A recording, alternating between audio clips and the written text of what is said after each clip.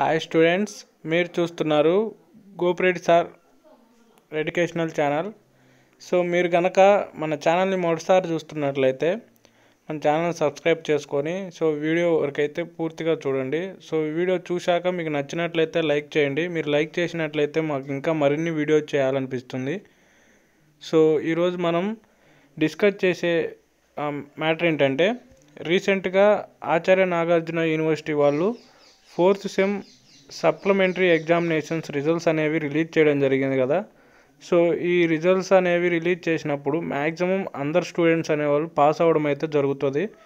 So కొ కొంత పర్సంటేజ్లో కొంతమంది స్టూడెంట్స్ అనేవాళ్ళు ఫెయిల్ అయి ఉంటారు కదా. సో వాళ్ళకి బోర్డర్ దగ్గర స్కోర్ చేసుకున్న వాళ్ళకి సో వీళ్ళు రీవాల్యూషన్ అనే ఫీజ్ షెడ్యూల్ అయితే తీసుకురావడం జరిగింది. సో ఈ రీవాల్యుయేషన్ గురించి మనం ఒకసారి డిస్కస్ చేసుకున్నట్లయితే చూడండి ఒకసారి ఈ వీడియోలో.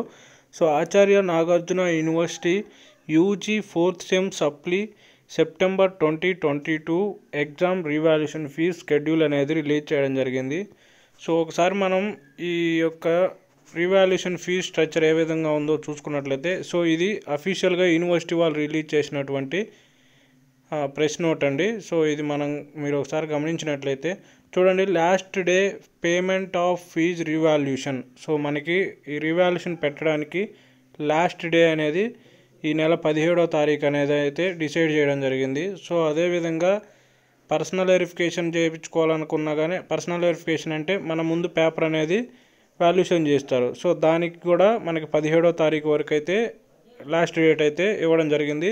సో అదేవిధంగా జిరాక్స్ కాపీ మనం తీసుకోవాలనుకున్నట్లయితే అంటే మనం ఎగ్జామ్ రాసిన బుక్లెట్ ఏదైతే ఉందో అది మనకు జిరాక్స్ కాపీ అనేది ఎలా కలెక్ట్ చేశారు ఏంటి అనేది మనం ఒకసారి మన ఇంటికి తెప్పించుకోవాలనుకుంటే దానికి కూడా లాస్ట్ డేట్ సబ్మిషన్ అనేది పదిహేడో తారీఖు అనేది అయితే డిసైడ్ చేశారు. సో వీటి యొక్క ఫీజ్ స్ట్రక్చర్ ఏ విధంగా ఉందో మనం ఒకసారి కిందకి వెళ్ళి ప్రెస్ నోట్ చూసుకున్నట్లయితే revaluation for each script for all courses except BCA so bachelor of computer application వాళ్ళకి తప్ప మిగతా అన్ని గ్రూపుల వాళ్ళకి ఒక పేపర్కి వచ్చేసి నైన్ హండ్రెడ్ ఎయిటీ రూపీస్ అయితే వాళ్ళు డిసైడ్ చేశారు.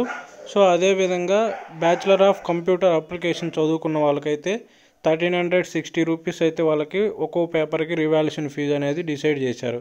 సో మళ్ళీ అదేవిధంగా పర్సనల్ వెరిఫికేషన్ అని చెప్పాం కదా సో పర్సనల్ వెరిఫికేషన్కి అయితే దీని యొక్క fee thirteen hundred sixty rupees అయితే చేశారు. అదేవిధంగా జిరాక్స్ కాపీ కావాలనుకున్నా కానీ సేమ్ అమౌంట్ అయితే వాళ్ళు డిసైడ్ చేశారు. సో ఈ యొక్క ఇన్ఫర్మేషన్ మీకు యూజ్ అవుతుందని చెప్పేసి మా ఛానల్ ద్వారా నేను మీకు అందిస్తున్నాను. సో మీరు కనుక మా ఛానల్ మీకు నచ్చినట్లయితే ఖచ్చితంగా సబ్స్క్రైబ్ చేసుకొని పక్కనే ఉన్న ఆల్ నోటిఫికేషన్ అయితే ట్యాప్ చేయండి. ఎందుకంటే నేను ఏదైనా వీడియో అప్లోడ్ చేసిన వెంటనే మీకు నోటిఫికేషన్ రూపంలో వెంటనే అందుతుంది. ఎందుకంటే ఇవి యూనివర్సిటీ ఫ్లాష్ అప్డేట్స్ కాబట్టి. సో ఖచ్చితంగా నే మీరు ఆల్ సింబల్ని ట్యాప్ చేసుకున్నట్లయితే మేము అప్లోడ్ చేసే ప్రతి వీడియో యొక్క నోటిఫికేషన్ అయితే మీకు అందుతుంది.